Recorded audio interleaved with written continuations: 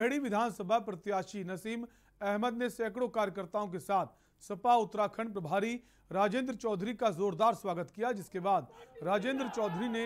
रजा hospital का फीता काटकर उद्घाटन किया और फिर बीजेपी पर जमकर निशाना साधा।